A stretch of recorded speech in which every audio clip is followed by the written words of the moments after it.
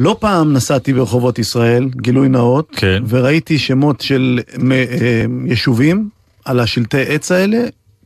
לא ידעת- לא ידעת ידעתי- שהם קיימים בכלל בכלל. לא, בכלל לא. ו- ואני שמח מאוד לשמוע כשקראתי את האייטם הזה שאנחנו הולכים לטפל בו עכשיו, שיש מי שלא רק אה, שיקם את השלטים האלה, אלא גם תיעד אותם. מה זה, הוא נסע בארץ במשך עשרה חודשים ואסף וצילם אה, כל יישוב אה, ויישוב במדינת ישראל עם שלט, אה, עם שלט הכניסה ליישוב. יוסי יניב תיעד בשני ספרים, ספר וחצי כזה. מדהים. בוא נשוחח איתו רגע ונבין אה, מאיפה מגיע בכלל הדחף הזה. לילה טוב, יוסי. ערב טוב. אז uh, ספר לנו קודם כל באמת מאין הדחף הזה ללכת ולתעד את השלטים ה... שלא תמיד נראים כל כך אסתטיים וישרים ומסודרים. איכשהו אני, כמו שכתבתי באחד הרעיונות שנתתי, זה התחיל איפשהו לפני דווקא 40 שנה. עשיתי קורס סיור בצה"ל, וזה היה באזור בית ג'וברין, ושם פעם ראשונה אני ראיתי את השלטים האלה של המועצה האזורית אה, מטה יהודה. השלטים האלה מצאו מאוד חן בעיניי, כי היה בהם אינפורמציה על שם היישוב, מקור השם, אה, במה התעסק מבחינה חקלאית, ואיכשהו זה ישב אצלי בראש אה, לתעד את זה, פחות או יותר אז. איך אומרים, 45 שנה חלפו, ובאחד הנסיעות עבודה, אני עובד בחקלאות. נסעתי לחוות גדילה, חזרתי, ואז החלטתי שאני נכנס למושב הראשון שאני רואה בדרך, זה היה אבן שמואל. אה, ואז לתדהמתי ראיתי שזה לא, לא שלג עץ ואין הרבה פירוט, אלא דווקא מת, אה, אה, שם היישוב היה על, על, אה, על אבנים, זאת אומרת על... Mm. כן, אבנים גדולות כאלה של מוצא אזורית שפיר, ובצד זה הדהים אותי, אמרתי, וואו, איפה כל השלטי עץ האלה? ולאן הם נעלמו? כן. אז החלטתי שאני נכנס לזה בצורה יותר רצינית, והחלטתי בהתחלה שאני... בדרך כלל זה אה, שלט עץ עם. עם כיתוב בצהוב, נכון? הכיתוב עצמו בצהוב ברוב המקרים. כן, שם היישוב. אז זהו, זה בדיוק, זה בדיוק העניין. מה שיפה, זה אין רוב המקרים, זה משתנה בין יישוב ליישוב, Mm. בין מועצה למועצה. בהתחלה חשבתי, טוב, שלטי עץ הם אה, די דומים בכולם, כמו שלטי קק"ל. כן. מה שהדהים אותי זה בכלל לא היה ככה, חלק מה... אה, יש יישובים שיש להם את השלטים שלהם, אה, זה מעץ, או, או שזה כיתוב על קיר, נכון להיום, כן? כן. אבל פעם, פעם זה היה מסודר? זאת אומרת, פעם זה היה נראה אה, אחיד?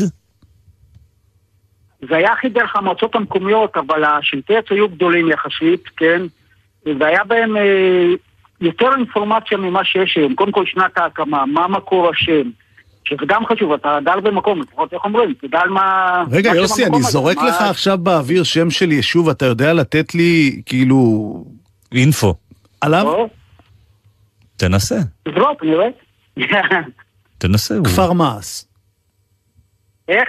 כפר מעש. כן, זה ליד, כן, ליד פתח תקווה, זה אחד היישובים ש...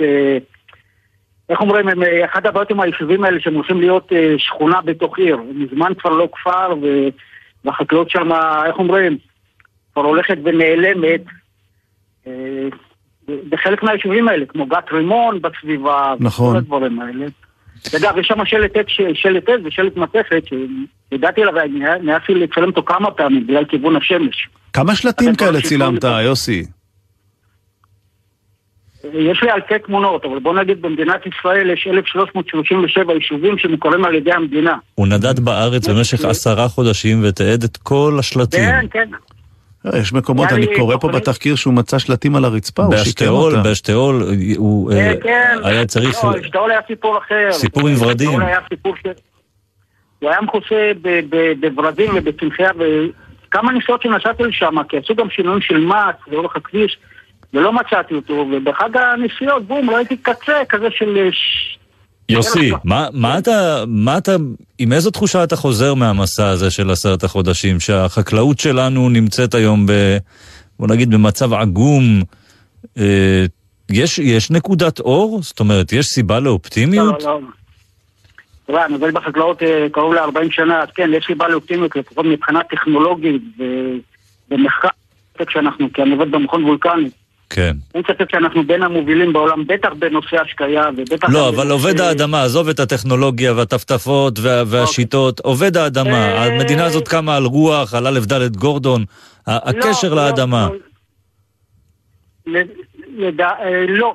אני רואה את זה בעבודה, קשה להשיג פועלים, היום הקשר לאדמה נשארנו עובדים, עובדים מתאילנד או ממקומות אחרים.